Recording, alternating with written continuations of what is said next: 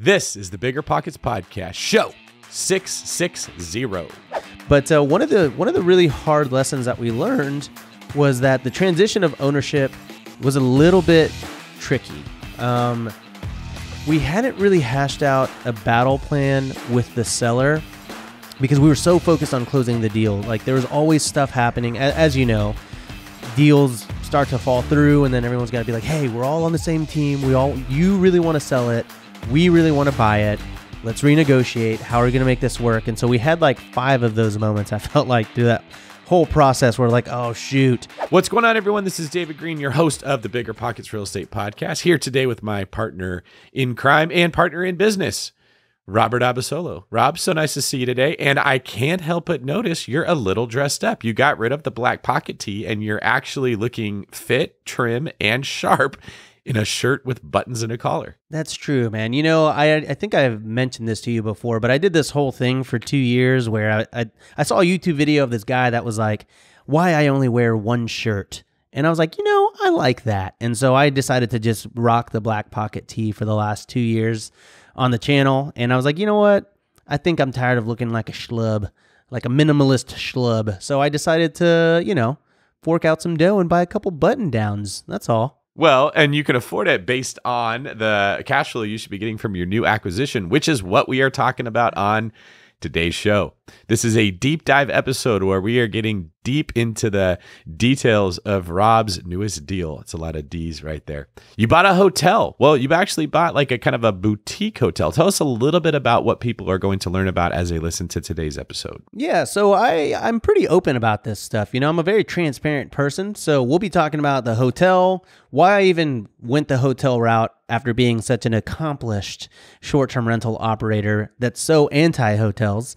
Uh, you'll you'll get to hear my pivot on why I'm doing that, and then some of the really big hardships and mistakes that I've made on this deal, uh, which I just want to be honest about and put it out there because I think for me, I embrace mistakes because they make me better. And I just want everyone to know that it's okay to make mistakes and to fail because that is how we get good at the thing that we call real estate. That is a great point. And if you listen to today's show, you will learn about the mistakes Rob made, how he overcame them, how he found this deal, how he structured the deal, how he negotiated the deal, what he likes about the deal, how he's designing the deal, and how, if everything goes well, he should make over $5 million when he exits this deal. Fantastic episode. Make sure you listen all the way to the end to get all the juicy deets. But before we get into those juicy deets, today's quick tip is brought to you by Rob Abasolo himself. So if you're ever going to buy any kind of property that's outside of your typical asset class, ask yourself, what is the battle plan as soon as I close on this property? I think a lot of people are like me and we jump in because we're not scared to just tackle something head on. But at the end of the day, you're going to sign those closing docs and then you have to actually run that business or asset class that you just purchased. And you don't know what you don't know. So before you get into a deal and you focus all your time on closing the deal, focus on everything that's going to happen the month after you close that deal because it will save you a lot of headaches. Take it from your friend Rob. Very nicely done. Great job there, Rob. All right, let's get into the interview. All right, there, Mr. Abasolo. Let's get into this thing. So, first off, in in your opinion, you've probably been investing in real estate for quite some time, but to an OG like me, I'm thinking you're kind of new to this game. So Mm-hmm, it, it seems like you've done pretty well since the time that you've been in real estate. Can you share with our audience how long you've been investing in real estate and what your journey was like to get to where you are right now? Yes, yes, uh, yes, I do. I will. And let me just say, it is an honor to be a guest uh, on the Bigger Pockets podcast. It's been a dream of mine for a long time. So thanks for having me on. Um, I did kind of make myself sound like an old man right there. So, well, tell me about how you're using computers to buy houses. what is this Airbnb you speak of? um, all right, reeling this back in. So yeah, I've been doing this for about five years, probably just a little bit over now. And I have really, I've done a lot in the short term rental space. And it's always been an interesting journey. I think for me, I've I've wanted to diversify as much as possible for just I just like I'm very curious. And one of my favorite things really about bigger pockets is how creative people can get in real estate. And, you know, extrapolating that further into just the the actual Airbnb space, I've always been very appreciative of how creative people can get with their spaces. What can you Airbnb? You can Airbnb an air mattress in your living room. You can Airbnb a potato in the middle of Idaho. You can Airbnb a cabin. It, it doesn't really matter, right? It's what whatever your imagination. You love is. that potato. I do. It's so good. It makes like 70 grand a year. I'm jealous. I'm going to build a potato. I love how often you bring it up. I know. It's just I'm so jealous that I didn't think of it for. It, but this is exactly what I'm talking about because someone would see that, Yeah. and they probably were selling it for 20 grand, and then you know everyone was like, "No, I would never pay for that. That's a, that's a stupid price." And we have someone that comes on, and they actually we should bring her on. We should bring her. I think her name is Kristen Wolfe. I'm I'm gonna make that a, an initiative here. But effectively, I like how creative things can get. So for me, I started in the rental arbitrage space uh, for like I think my first three or so listings, and then I bought my first house. In that house, I had a tiny 279 square foot studio that I rented. That was making pretty good income on Airbnb. And then I thought to myself, what if I built a tiny house in my backyard? And then I thought, what if I built a tiny house in Joshua Tree and then a small home in Joshua Tree? What if I put a tent out in a national park or an Airstream or a tiny A frame? And so I kept really like leveling up as much as I could because every type of new listing I could come up with, I was like, this is great. This is fun. And it was so fun because no matter how wacky you get with your ideas or whatever you put out there, there is a target market for that, right? There's a target market for a vintage Airstream. There's a target market for a tiny A frame or a tiny house. And for me, I think I get a lot of joy out of fulfilling that that bucket list item for people. So in my five years, I went from zero to 15 units. Um, for all of those 15 units, um, for the most part, I think I had partners on a lot of those because I was pretty broke when I was getting started out, and I was doing pretty well, and I was putting myself out there on social media, and people would reach out and say, "Hey, Rob." Uh, I'd see that you're pretty good at this. Would, would you mind taking an investor? And I'd say, sure. And so that's how I was able to scale up pretty quickly. And I was pretty uh, passionate about it, and I still am. But I've started to realize as I was acquiring all these different units, the scalability was getting a little tougher because I was getting so engulfed in the actual A, the self management, but B, the setup. Setting up an Airbnb takes a very long time. I don't know. Have you ever set up one of your Airbnbs or no?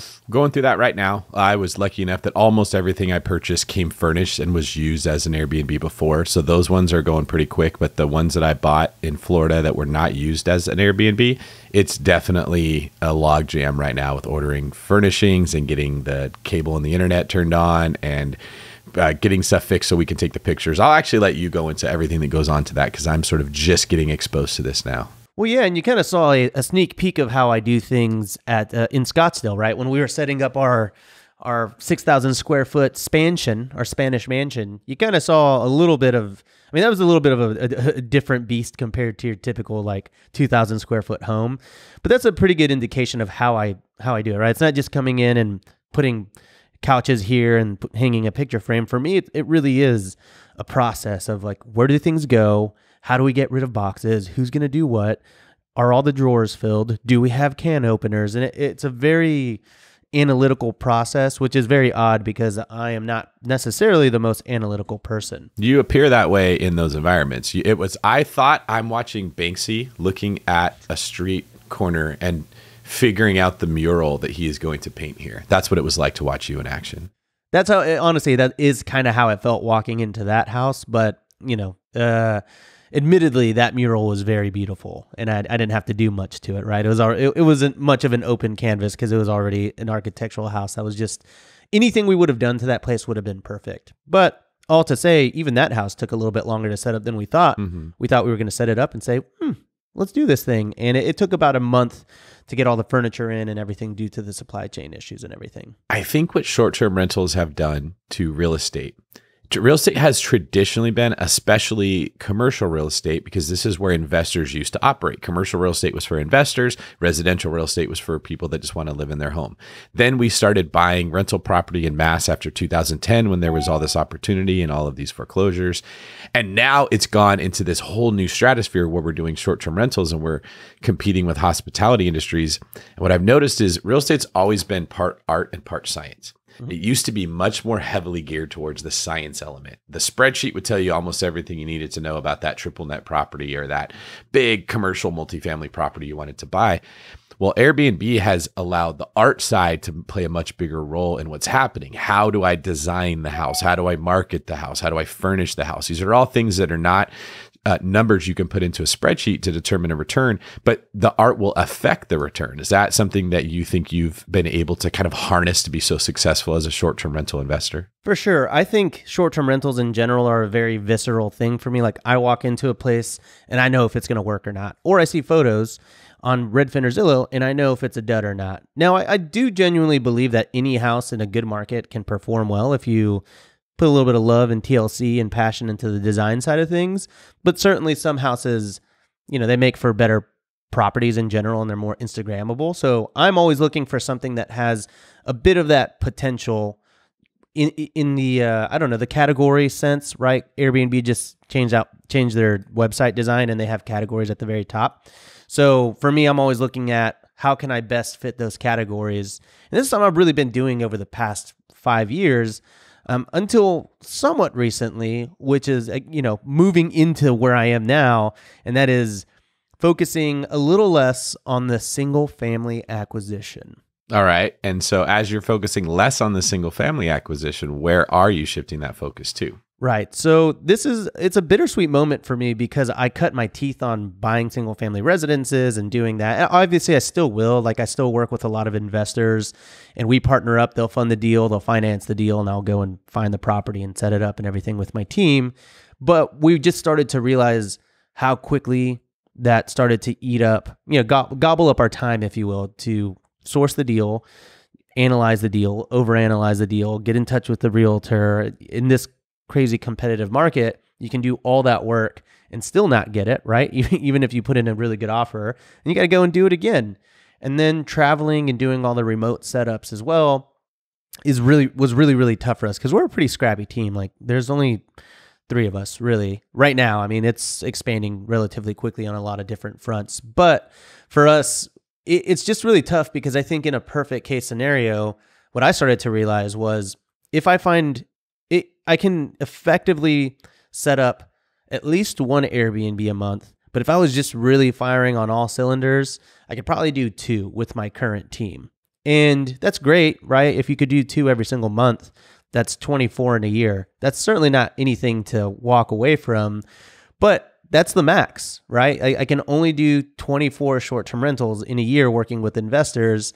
And I'm also splitting it with those investors and I'm having to to work with them and get get info and analytics and answer questions. And really that side of it too has been very i mean it, and it, rightfully so they want the information. So it does slow down the process to work with the one-off investor uh, because it can be a little tough to just get everyone on the same page and get money moved around. And in this market you need to like act very fast make offers and and think think last kind of thing, um, which is terrible advice. Don't ever do that. But this market is cr- crazy, right? So I think honestly, this all started to come to a head when you when you and I were talking about partnering up, and then I was like, all right, man, let's buy this campsite with ten units on it or something, and then you're like, dude, it's a good return, but that's a job. Ten units is is crazy, right? And you're like, what if we just started acquiring luxury properties and that that will cost the same as this 10 unit campsite you sent me. And i was like okay sure.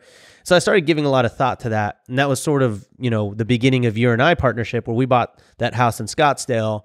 And setting that up was a bear but it wasn't the work of setting up 10 properties that equal the same amount monetarily. And i think the moment that hit me i was like okay i think it's time to rethink how i approach short-term rentals yeah, that's awesome. I remember that conversation we had where we were kind of fleshing out our options and you said, "Well, look, we can get a it was a ridiculous number, like 40, 50% ROI on these $400,000 houses. Let's just buy 10 of them." It's like, "Okay, we could do that and then for the next year this is all that we're doing is we're trying to manage these 10 properties we bought. What if we just bought one for 4 million that could do less maybe cash flow right up front?" But it had a bigger upside, and we could, with that time, we would make more than the cash flow that we were giving up. And it was I almost remember seeing like you freeze for a minute, like the little like the little Apple rainbow thing was spinning, and you're like, wait a minute, that's not how I was ever thinking. Tell me more of this, how we would make more more money with the time you speak of. And that I remember when I had that first same epiphany that we often look at ROI. It's it's very seductive to just find the highest ROI you can find and it feels like progress to the human mind so we like to chase it. But in real estate ROI is never pure.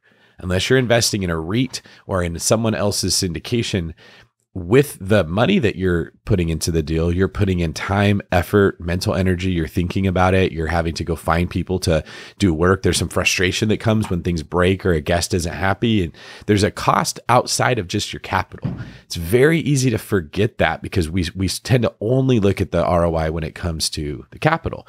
And uh, when I had that revelation, I realized like, oh, I need to think way differently about how I'm investing. So as you you're sort of like newly born, right? Like you just got jacked out of the matrix and you've like opened your eyes for the first time. the red pill, like- if you will. yeah, exactly. Now you're in Zion, right?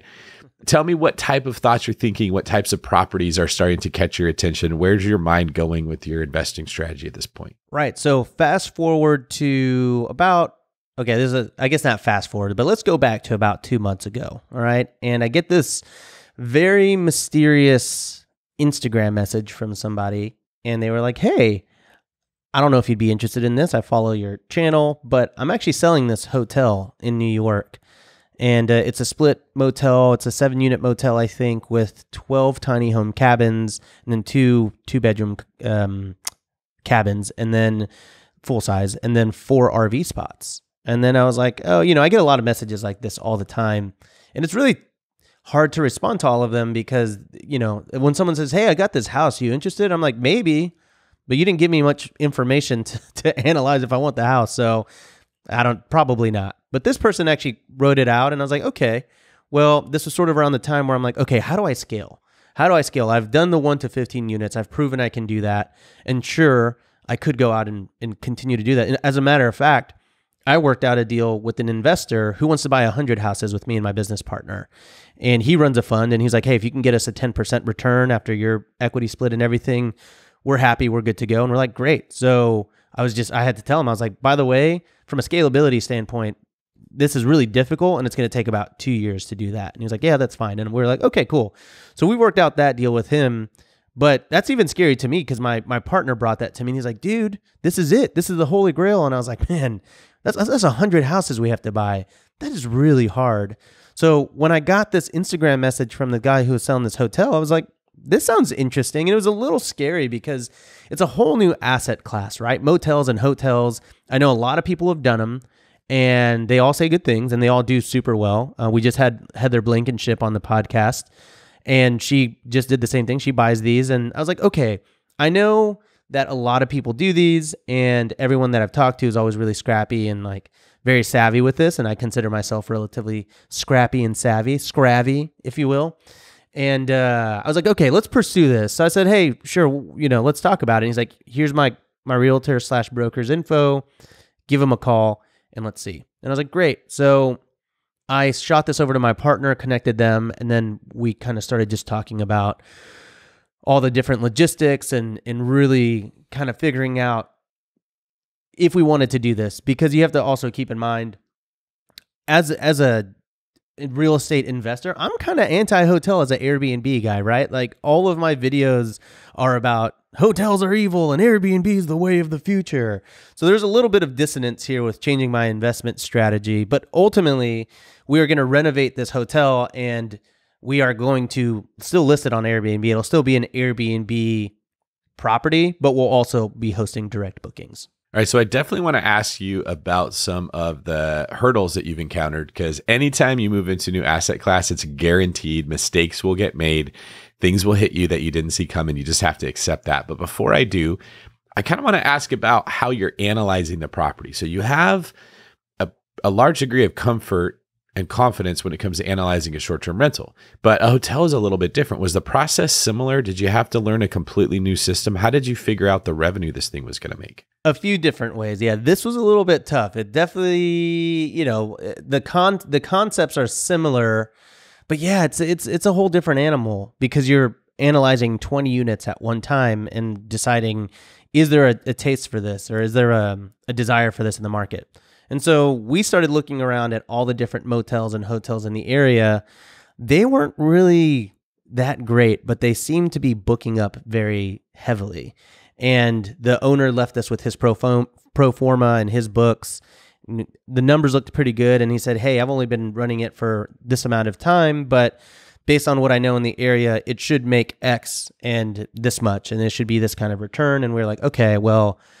Thank you. We appreciate your your opinion here. We do have to verify this, right? You know, every, everyone can say a high number.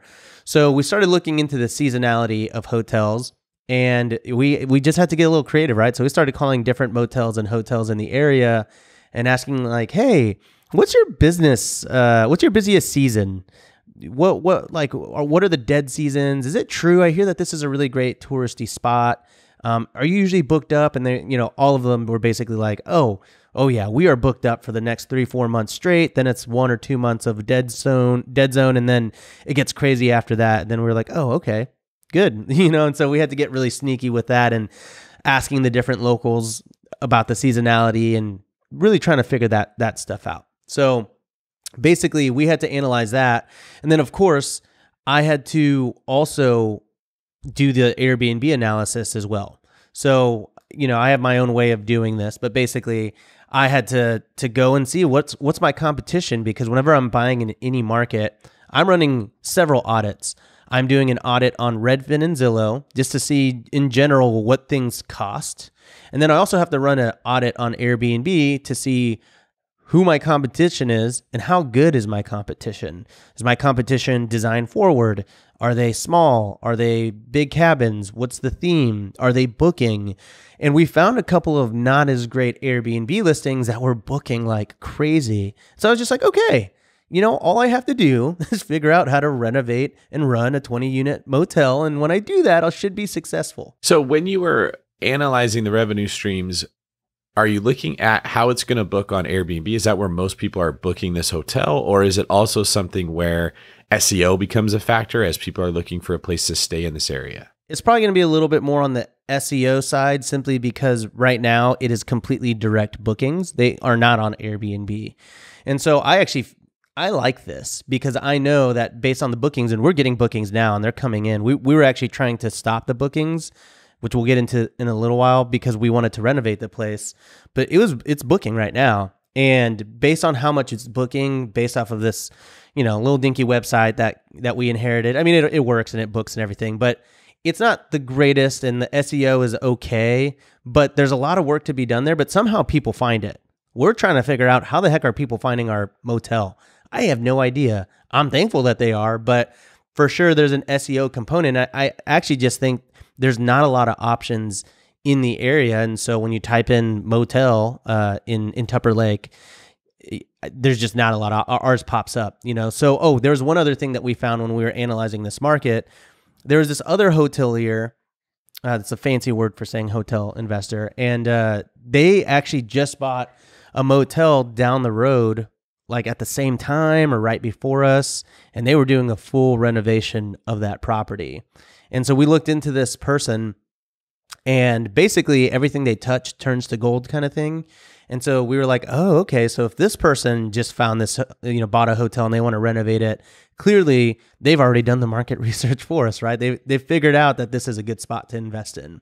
So we we use that and then we took projections and like we also took past data and then we looked at Airbnb comps and we called around and we got like a sense from the different locals and the different motels in the area to kind of find out when our hot season is and everything like that. So it was a little it was a little bit of uh, what they call internet sleuthing, but also you know general Airbnb research as well.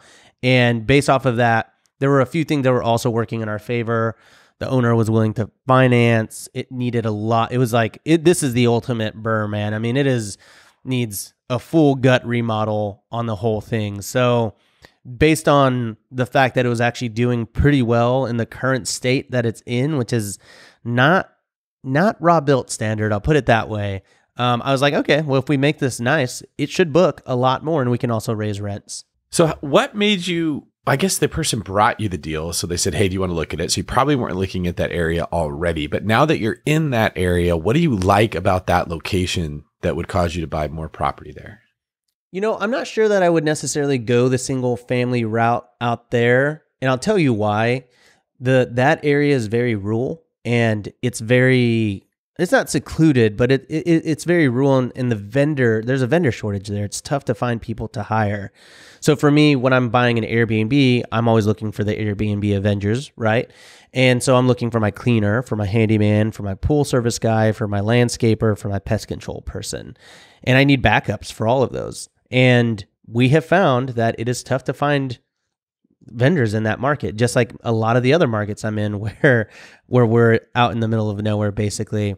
So from a single family resident standpoint, I wouldn't really do that. But because it's a hotel and there are economies of scale, we have it in our budget to actually just hire a full-time on-site manager, very similar to like mobile home parks or RV parks or even storage facility units where there's someone that is dedicated and it's their job to run that place. So that sort of alleviates some of that dream team that I need to hire because we now have a full time staff. We provide that full time staff housing and then a, a, relatively, you know, I think a, a fair price to, to live there. And uh, actually, funny enough, we were striking out left and right. We were not able to find people to help us. And we're like, uh oh, we just bought this hotel and no one can actually work on it. And uh, we had Heather Blankenship on the podcast, and she talked about this group of people called work campers and these are people that travel around and they're effectively nomads, right? Digital nomads, or they're always just looking for places to park their trucks that have campers and basically camp at the place and make money and that kind of stuff. So I was like, okay, let me try that. And we posted an ad on one of the Facebook groups, and someone was like, oh my God, this sounds exactly like what I would love to do. I used to work in hospitality and I used to work in hotels, like for the Marriott and stuff. So I know exactly what you need for this job. And we were just, me and my partner were like, yeah, it's a little too good to be true, right? Like, there's no way.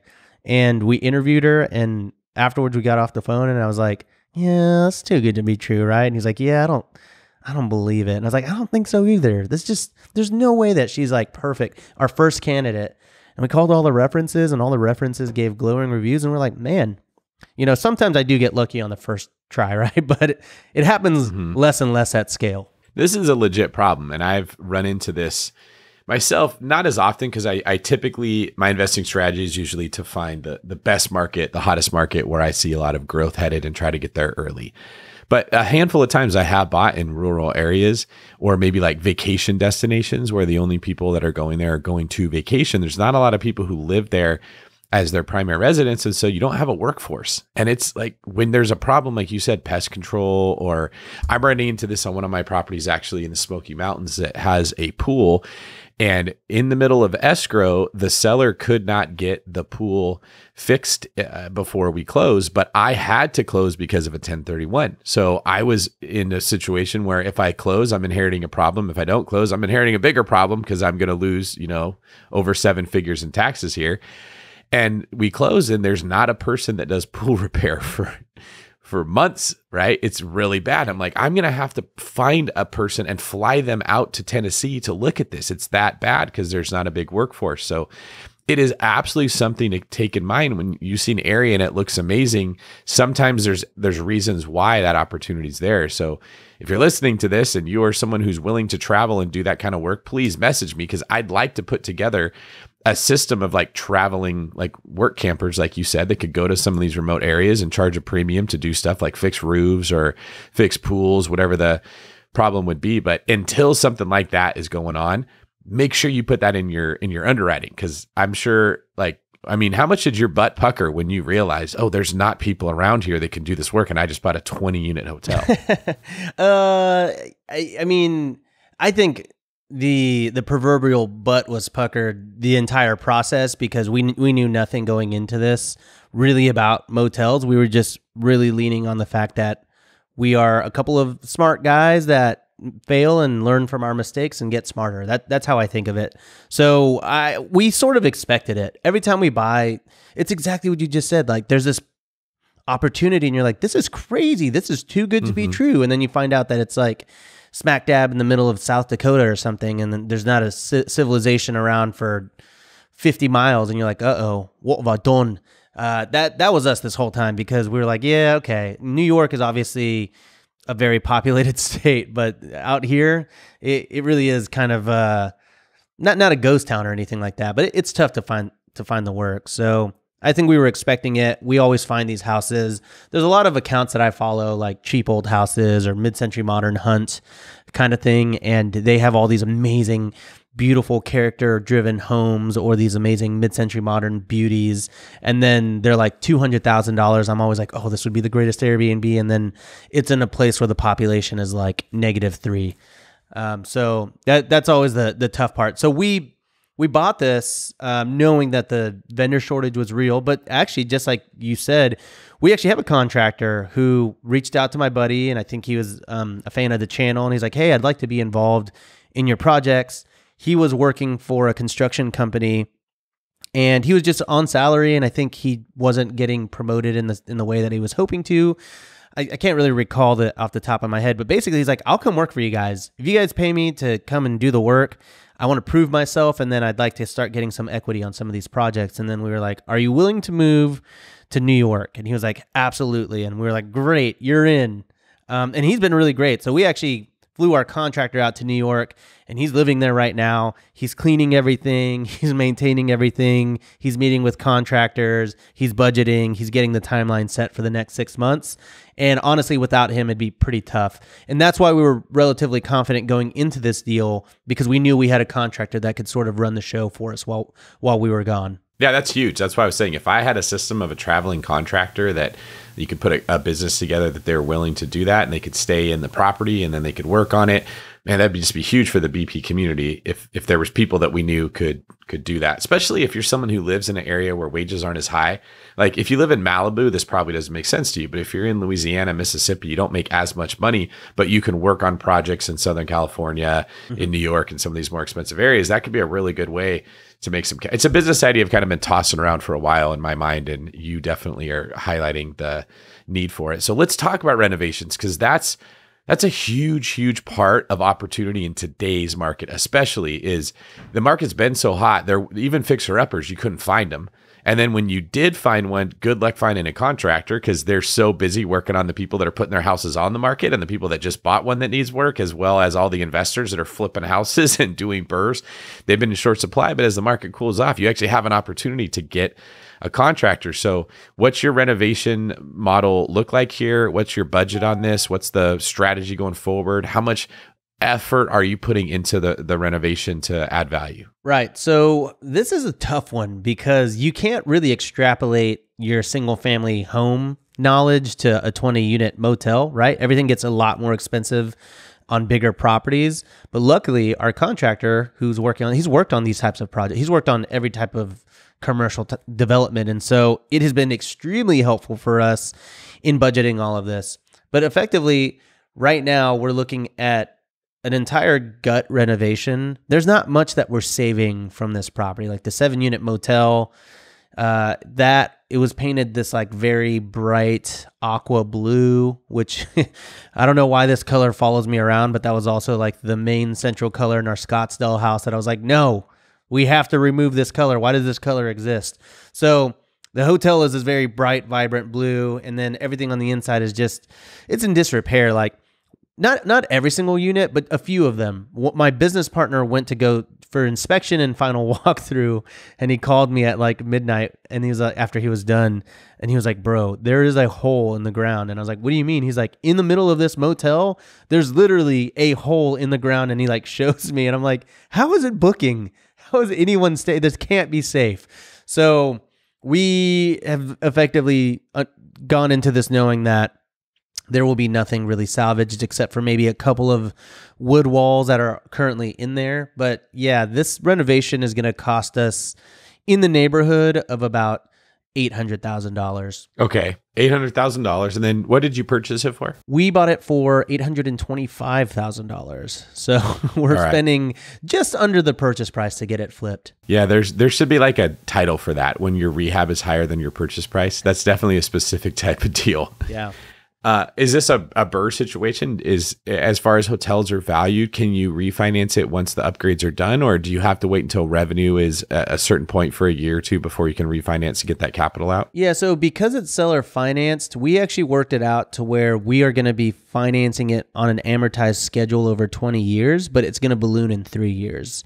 So we're hoping that by the time it's stabilized and rents are up and there's a history of rents, exactly what you just said, we can go to a commercial lender. Hopefully, interest rates won't be like 27% APR and basically refi, cash out, pay, pay our investor back. This was a really opportune uh, timing because we actually had an investor who had about uh, I think eight hundred thousand dollars set aside. I want to say, and we had been trying to find a project for him. He wanted to to build a, a treehouse village with us, and we were like, okay, let's do that. But we were it was hard to find land. Um, all the places that I wanted to build tree houses in, I have talked about them a lot on the channel in different places, and they, yeah, I, I I'm not going to say I ruined the market for myself because that's not possible, but more attention has been brought to a lot of the different places. And so I was just like, okay, we were striking out trying to find. I believe it. it's happened. That happened to me when I, I talked yeah. about Jacksonville like five years ago. And the next, it was like within a month, all of a sudden stuff was disappearing off the MLS very quickly. yeah, I'm not going to say I'm that cool, but Bigger Pockets is a powerful entity. yeah, but there there have been markets that I'm like, well, I haven't even honestly, I haven't even opened up like Redfin and Gatlinburg in, in about six months. Not not because I've ruined it for myself, but because everyone has sort of ruined it for ourselves. Yeah. And so now it's like impossible. I mean, you bought a bunch of stuff that I'm honestly very impressed because it it's a tough market out there. Um, although I, I do see some price cuts coming in every so often, but know, we were trying to find this land. As a side note, don't lose your thought. It's important to note that real estate investors, now that we have podcasts like this, information that's readily available, everyone's talking on YouTube, the word spreads really fast. I mean, like imagine 60 years ago, first off, long distance investing was not even a thing that you could do safely or that you would do. And second off, you would have never known about the markets you should be investing in. Everything had to be local. And now I've noticed this trend since I've been in this this educational space that real estate investors are like locusts that just move from area to area. So when when we had the crash, you noticed like everyone moved into the Phoenix, Arizona, and Las Vegas markets and started scooping up properties because they got hit really hard.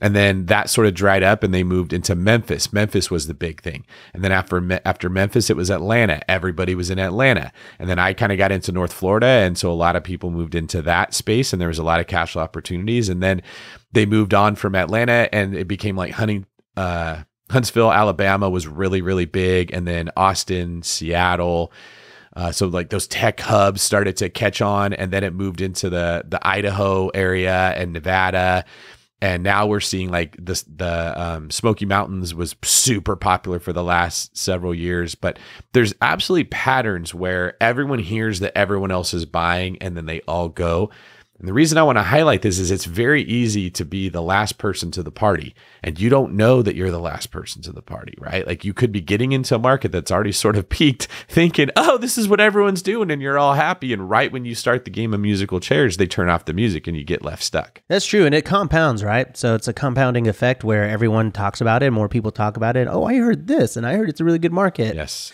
So all to say, this is actually a really great side note because I, I, really like the term real estate investors are like locusts. We totally are because everything, it's not like I just find a market and I'm like, I have done it. I'm a genius. I've heard it from someone else, right? I'm one of those locusts. It's human nature, right? We all want to cross the river at the same time as the other gazelles. We don't want to be the one out there crossing the river. Well, we all, yeah, we want to emulate success, right? And that that's what I always say, emulate the greats. Go find someone that you really like and go emulate their strategy because there's a reason they're successful. And I think that that happens a lot on BiggerPockets where we have a lot of these titans come on and it's like whoa i want to just do what they did. That sounds good to me. I don't have to do anything else. And so you know a lot of my portfolio and a lot of what i've done has just come from listening to the success stories of a lot of other people. But um but yeah i mean that basically all to say, I was trying to find land to build this treehouse village for our investor, and he had the money lined up, and we just couldn't find land that fit from a zoning standpoint because we have to go legit, right? We have to get conditional use permits and engineering and all that stuff, and so it's it's hard to to find something for an investor, you know, at at scale like that. So it was taking a little bit of time. Then all of a sudden, this deal popped up, and I was like, well you know, it's it's kind of in the same budget that the investor had. It's not quite as wacky or cool as a treehouse village, but it is a tangible thing because I think when you're working with investors, honestly, what it comes down to is how quickly can you deploy their money, right? I've had a lot of investors that they want a very specific kind of thing that they want us to execute, and I'll, say, well, look, we can do that, but it, it can take five to 12 months to find that exact thing. And so, are you okay with an alternative? Like, what if I find this type of project? Would you be okay with that? Most of the time, they say sure because no one likes to have a million bucks in their bank account for a year, right? You want to deploy money.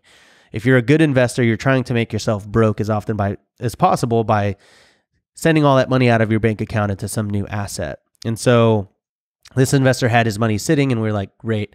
So we went in and we bought it and um, few trials and tribulations along the way, if you will, if you want to talk about that for a second, some of the some of the hard yeah. lessons that we've learned. Well, you said it was 20 units. How are those 20 units actually broken up? Is it is this literally like I'm picturing a building that has like a condo building type hotel like the Hilton that you would go to and it's just 20 different rooms or is this more of several different types of properties all on one location? Yeah, so it's the latter. It's uh it's a seven unit motel and those are all in the middle of the property and it kind of just looks like a very long mid-century modern cabin log cabin that's painted that bright blue I was telling you about. And then all along the edge of the property, there are 12 tiny cabins that are, I mean, I, I can't say off the top of my head, but I want to say like two, 300 square feet. And then there are two two bedroom cabins on the back of the property. I think it's on four acres, and then there's four RV spots. And so those four RV spots, we're going to eventually build out decks and put airstreams on there. Um, and the reason I like this strategy, by the way, is because obviously I like glamping, and I'm working on permitting a 60 unit glamp site in Arizona. And I'm I'm a big fan, but it takes a long time to permit this. Like we've been working on the the permit for the Arizona Glamp site now for about six months to about a year, depending on a few different uh, variables there. But basically, this place is already entitled, right? It's already got all the or sorry, this place already has all the entitlements. So we don't have to go and run permits for all these tiny homes or anything. It already came fully permitted. So we're the four RV spots are already permitted. We can just add our airstreams on there. It's not going to be a big deal. Um, or we'll just open it up to the public to bring their their RV and just make our lives a little bit easier, probably.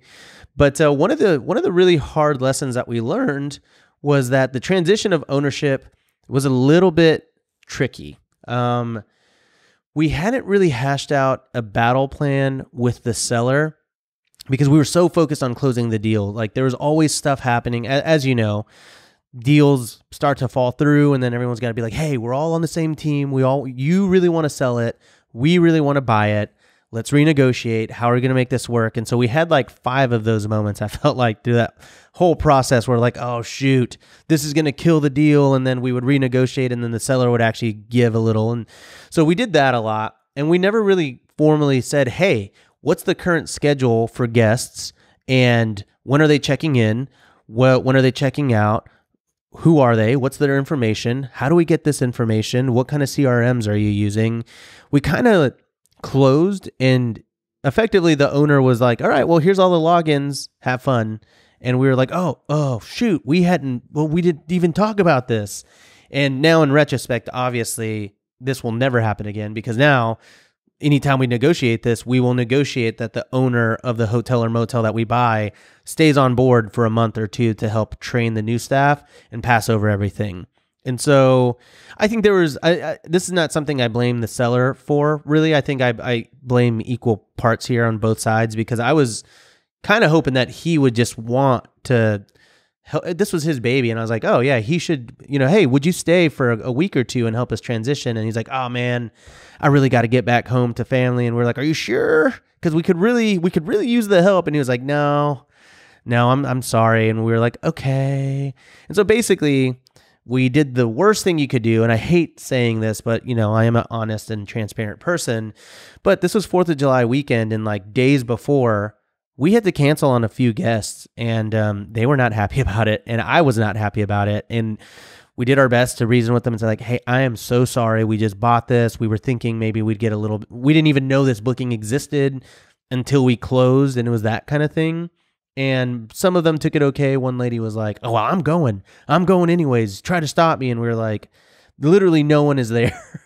and so basically we actually ended up working it out with her because the owner was like, "Well, hey, I keep an extra set of keys here. Do you want to if you want to let her in, she can just stay." And we're like, "All right. I mean, even if she destroys the place because she's not vetted or did not give us her information. We're remodeling it anyways. And so that was like one one kind of uh oopsie on on our spot was just not having a battle plan for transition of ownership. This is something that's like not super clear or tangible. And so for anybody that's working to do this, you definitely want to have a lot of conversations outside the negotiation with a seller on how to fricking run the property because if you try to figure it out yourself, I've learned the hard way, it's going to be very difficult. Well, I'm really glad you're bringing this up because hotels are, and really, this is a trend in general with the hospitality industry becoming bigger in our space. Hotels are a mix, just like an Airbnb is, of real estate and business. It's not like you're just buying a single family home and renting it out to someone with a year long lease. That's still a form of a business, but it's much more passive. When you're buying a hotel, it's eh, the revenue is higher because there's more work that's going to go into it. So if you were buying a pure business, like you were buying a software company or you were buying a pool maintenance company, like I mentioned earlier, it would be customary to negotiate into the terms of that deal that management is staying on for this period of time to help with transition. You see this all the time. Like Patrick Bet David just sold his insurance company. And part of that was he had to stay for a year to get the new people trained up that bought it because they don't want it to immediately run into the ground. Like imagine that you're flying a plane and someone says, "Okay, I'm coming in to take over flying the plane," but they don't know anything about how to fly that plane. You want the pilot sitting in the co-pilot seat for a while until they kind of get it down. And this is the first, from my understanding, like legit business that you had bought. So I can understand it wouldn't have occurred to you to even think about, well, you think you're buying real estate and you're like, well, I'll just have my team go out there and get it ready. This is all happening in your subconscious. And then you close and yay. And then, oh no, like, what do we do now? There's no one there. I didn't think about that. There, mm-hmm. there's no employee that's on the property. How are we going to do any of this? Well, I need time to get it ready than these bookings. So that's probably a terrible feeling. Just the pit of your stomach kind of sink. Like, oh no. It was because I, I basically my business partner slash COO who runs operations, like he was running this and he was really spread thin, also trying to learn how to buy a hotel. You know, so it's not his fault. He did okay. You know the phrase "you don't know what you don't know." It's very true. Uh-huh. You don't know what you don't know. We did not know, and I empowered my COO to do this, and he was he did really crush it. He crushed the negotiations, most of the actual coordination of all this stuff, but this didn't really translate for both of us. Like we're like, uh oh, we dropped the ball here, and in for me with the way I've empowered like my team, it's like you own this, right? You're running it. But when something like that happens, it is ultimately a reflection of me and my management for not having been more involved in asking those types of questions. And so that's just a, you know, a management failure that I'm like, okay, cool. I get it now. Like I failed there. I'll make it up on the next one and we're going to crush this. So it's not a it's not anything that's like detrimental to the bottom line, but it is detrimental to the bottom line of my heart. You know what I mean? No, I'm just kidding. Um so Well, that's how you know you're the right person to be doing the deal because the the reason it hurts your heart is you have a standard and you missed your own standard. Yeah. And high standards are the hallmark of success. That's what you want to do business with people that have high standards. That's what makes people good at anything. Tom Brady is a better quarterback than other quarterbacks because he has a higher standard for what he expects. So if you hold high standards and you push yourself, it is inevitable that you will feel the way that you're feeling right now, Rob. So I'm not judging you for that. I totally understand. I think that it takes some courage to come up and share. Yep, these are all the mistakes I made with our audience. So I just want to thank you for that. And and anybody who's listening to this, like, oh, see, that's why I would never do whatever I'm going to do. That's okay to make mistakes. You have to make these mistakes. It's going to make you a better overall investor and business person in the long run. Well, that's why I always say you don't become a real estate pro by everything going right. You become a real estate pro by everything going wrong. Right. So I, I recognize that. And that's, I do, I'm far enough along this where I'm like, okay, it's not a big deal because I'm going to be better for it. Um, I will say the the reason it affected me as much as it did was because my philosophy, what I teach to my host camp students and everybody out there is never cancel. No matter what it takes, you never cancel on a guest because these guests made reservations, they planned their life around this, and then if you cancel on them, everything's booked, and then you really end up putting them in a bad spot. And so this directly just breaks my my number one like non-negotiable but we did everything we could. We started looking at flights. The flights weren't going to get in in time. It's in out in the middle of nowhere, so it's not like you could just fly to Tupper Lake. And so it was like all this stuff where we're like, okay, right? It will cost us four grand to get out there. We can rent a rental car. We'll go to this airport. We'll go here, and then we'll get in at four o'clock. We'll check them in. If they check in, and so you know that Zach Galifianakis like math meme, that was us, and it just ultimately was it was to cost us money to go out there, and it was it wasn't even to work. We it just we put out ads on Craigslist like we need a one day you know like worker to help us with this stuff, and it didn't work out. So that's okay. Um, lesson learned. Another thing for us was that I mentioned this earlier. We oh, and also want to say to the credit of the hotel owner, we did kind of hash things out a little bit on on Instagram, and he was like, "Look, here's here's how I felt. I didn't realize that this is what you needed." But I'm happy to actually go back out there and, and teach you the systems and, and teach whoever you hire how to run this hotel. And I was like, great. Okay. Awesome. I'm sorry sorry for making you mad you know like all that kind of stuff. So we squashed that that bug too because i was i was a little miffed by the whole scenario or the whole situation myself. Um so anyways that that's kind of that big one for us. The next one is we didn't have the airbnb avengers. We were kind of hoping that this the owner had a, a rolodex of all the different vendors and he did not because a it's really hard to find the vendors out there. So what did he do? He did it all himself for like six months. He was the cleaner, the pool guy, the pest guy, the plumber, the electrician, and everything. And so I think he burned himself out so much. Like I think he had intended to buy it. I don't know for sure. And then say, okay, I'm going to clean it up, remodel it. I'm going to hire my teams, and then I'm out. Couldn't do any of that. Couldn't hire anybody. And so he said, all right, I'll just do it until I find someone. He never found someone. And after six months, I think he was just like, I'm out. This is terrible. And um, again, I this is just speculation on my part because this is how we're feeling now. It's like, oh, there are no vendors. He was the vendor. So that was our tough thing. Is like now we're having to hire a full time property manager. All good there. Our contractors out there, all good there. And contractor, it's his job to go out to supermarkets, hotels, motels, uh, mom and pop shops, and just start asking people, you know, asking the cashier, asking the owners of those businesses, hey, do you know anybody that's looking for work? Hey, do you happen to know any handymen in the area? Do you know any cleaners in the area? By any chance, do you know a pool guy? Like you a lot of these relationships and these vendors have to come creatively and that's what a lot of people don't understand about Airbnb. They think you can just go to TaskRabbit and hire everybody, which I do. I hire a lot of TaskRabbit people, but sometimes you need a human touch that an app isn't going to help you with. And so you have to get you have to take it to the streets as they say to go find the people that are going to be running your operation or the woods in this scenario for this property. right, or the mountains really. Um, it's actually on a lake, so the the woods, the lake, the streets, all of it. Um, so yeah, no no vendors, but we're working on it. So we've got a couple hurdles you've already had to overcome in this deal. There's the lack of vendors like pest control people, handyman. Hey, there's a big rat running around. What are we going to do? You have to figure out that problem. You've got the renovation that you're walking into that's very significant and the lack of local people, contractors that can do some of that work. That it sounds like you kind of narrowly avoided a big problem there, but that's still something that's going to be popping up in the future. You've got the management issue, like, okay, I bought this place and now how am I going to run it? And you've had to overcome that. Any additional ones before we move on that you can share of things that went wrong that you just weren't expecting? Yeah, just one big thing. Um, and that's there's no roof. No, I'm just kidding. Uh, there are no automations in place at this motel, which is really big for an Airbnb business. The reason I have no issue running 15 Airbnbs is because I've got automations. I've got automated messaging, automated check in, automated reviews, automated pricing. All that stuff is all automated. And so it helps chop out 80, 90% of the work involved with running those Airbnbs. And there's none of that for this hotel. And rightfully so, because typical hotels, you got someone behind the counter, they go and they check you in, and boom, you're good to go, right?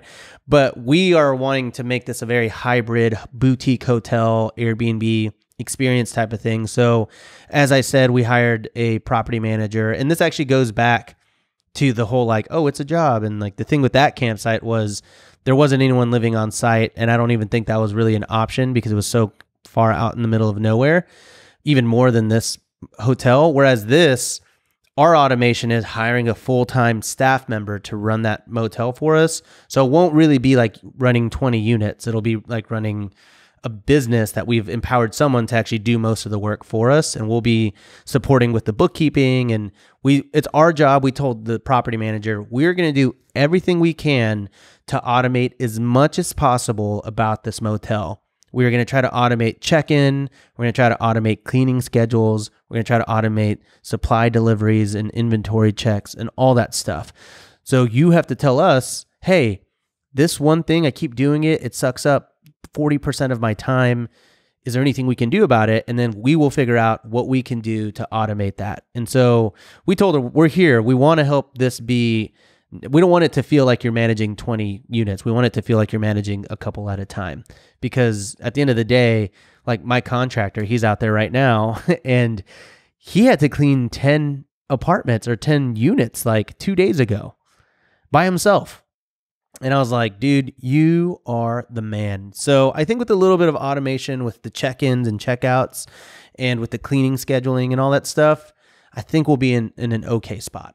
I appreciate you sharing that. It's some really good stuff there. One of the cool things when you get into bigger real estate is that excess revenue that it generates can be used to hire the people to run it. You hit the sweet spot where if it generates enough revenue, you can hire someone to do the work and make it more passive. When you're kind of playing in the smaller spaces, it doesn't make enough revenue for you to pay somebody to manage it, so you end up managing it yourself. So, kudos to you for for moving on that. Before we get you out of here, Let's talk about the numbers on this deal. So you said you bought it for was it 825? We did. We bought it for 825 and we it actually started I it was either 950 or 925. I'll go 925 for now. And so those numbers didn't really work for us when we first started. Um, so we really went back and forth quite a bit. And so 825 at the end of the day and i think i said this already but it was amortized over oh the seller was willing to finance it which is why we were down to do this because i think if we had to go and get commercial lending it would have monkeyed up everything with the investor and trying to get that all everyone on the co-signing and everything. So seller financed and then 30% down which was relatively hefty for us but it was worth it. And uh, here's the cool part. Oh man i love this part. The interest rate is 2.75%. Yeah, that that's nice right now. That'll make mm-hmm. a deal work. That was during it's not like we got in right before the rise of interest rates. This was yeah. as it was all happening. So we they originally I think wanted 7 or 8%, which is it's not totally unfair. I actually think that's, that's where market rate is right now. Yeah, and I think that's actually pretty common for owner finance things because you know, it's either it's it's usually with a owner finance you have to concede a little bit right? You have to give them the price they want and the down payment they want and the interest they want because they're like hey i'm financing it so you got to you got to be on my terms. So i think what it came down to the the phrase that comes to, mind here it's like you can either have your price and my terms uh, but you can't have your terms and your price. And so we went back and forth on this and effectively uh, we bought this at an 11 cap which is pretty good um, we were really happy with that. And after our budget of $800,000 to renovate this place, we'll be all in from a cash standpoint, uh, like 1.1 million. But if you're talking about the actual total price here, we'll be all in at the, um, I don't know, like 1.7 for this whole property. And we're hoping that rents will be in the neighborhood of about a million dollars gross with a net operating income of seven hundred and fifty thousand dollars. Oh, that's solid. Yeah, it's really good. That's that's best case scenario, pie in the sky. If I come out there and I do do my thing and I hit my marks the way I usually do, that's the best case scenario. And so obviously, if we sold that at a ten cap, it's a pretty good deal. Appreciate you sharing the details there. Is the plan to sell it? Is that what you think you're going to do once you improve performance? It is hard to say. I mean, right now we have that balloon at three years, so it would make sense to either refinance it or resell it. I don't know. I don't know. I know, like, it's just if I sold it, let's say we sell it for seven mil or something like that, at just like a, a 10 cap, then I got to figure out what to do with that seven mil, right? Go into a, the next thing. So I think I would like to maybe just write out the cash flows on this. I think the seven hundred and fifty thousand dollar net operating income between me, my partner, and the investor will actually be pretty good. Like it's a it's a nice little cash flow thing. So we'll see. I mean, everyone always says, "Oh, I'm going to hold it," and then they get a really juicy offer, and it's like, all right, I guess I'll sell. Um, but for now, theoretically, I think I just I would like to add to the cash flow of my business because I have never paid myself from cash flow. I always reinvest it. So I'd like to think one of these days I'll actually pay myself for all this stuff. Well, the cool thing with a property valued as a commercial deal like this one will be is that you win in two ways with cash flow. A, you just get more money, which is always good and you increase your return. But B, the property will be valued based on the improved performance of the cash flow. So if you decide you want to sell it, it's not like you gave anything up. You actually made it worth more by focusing on improving the cash flow. So mm-hmm. it's kind of a win-win no matter how you look at it. Yeah, yeah, and then just the apocalyptic kind of nuclear scenario. And this would really just be I mean, if we just really didn't change much, it's I think about a half a million dollar gross with the NOI of 250. And so, yeah, we're going to really design this. I mean, this is going to be a very boutique aesthetically driven, beautiful property. We've met with our interior design designers on it. They've presented the mood boards. It's going to be a whole different property by the end. So I I'm pretty confident that we'll we'll hit our marks on the on the investment side. But honestly, any scenario from the the 500 to the million dollar mark for us on the gross revenue, it's a pretty good scenario for us. All right. Well, thank you for sharing that. Thank you for sharing some of the obstacles. Thank you for going into such amazing, beautiful depth on this deal. I learned a ton listening, and I'm sure everyone else can say the same. If you guys enjoyed this episode or if you want to know more about this deal, First off, go to BiggerPockets uh, YouTube channel and leave us a comment. Let us know what you're thinking as you hear this. Rob, if people want to get more intricate detail about this, where can they find out more about you? So I did a YouTube video on this on the Robuilt channel. It's called uh, "I Just Doubled My Airbnb Portfolio Overnight," which is a, another cool thing that I didn't really talk about. But 15 units, bought a 20 unit motel. I got 35, just just like that over over the course of one month. I doubled my short term rental portfolio, and that's a really cool thing to to be proud of. I think I'm like, okay, that's cool. I did it because I worked so hard for five years, and then in one month it all changes, right? So you can go to YouTube and you can watch that video, give it a like, shoot me a comment, and then you can find me on Instagram at Robuilt. Uh, what about you? Follow me at David Greene 24. I have a very boring name, but that makes me easy to find. And uh, let me know what you're thinking. You can also message me through the bigger pocket system. I do my best to try to keep up with that. Rob, this has been fantastic. Really appreciate you sharing all this stuff. I'm going to let you get out of here. This is David Greene for Rob Hotel, Motel, Holiday Inn, Abasolo, signing off.